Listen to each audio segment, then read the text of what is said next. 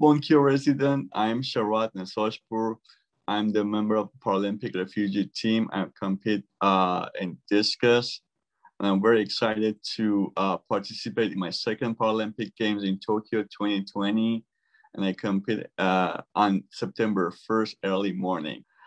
Uh, I know because of the COVID situation, we cannot meet in person, but rest assured, uh, we will hear your messages and your uh, message of uh, support means a lot to us.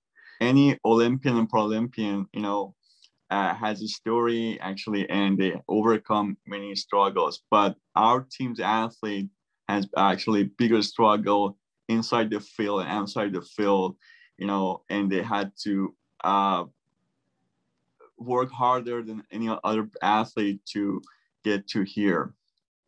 And uh, and I hope we can actually uh, bring hope to 82 million uh, displaced people across the world who are going through the uh, very long and difficult um, refugee process and help them to strive for the life uh, goals and you know whatever they want to do in their life. And and hope to see you soon. Actually i will see you soon and uh, yeah. Even not in the stadium but we will hear you from anywhere even on tv thank you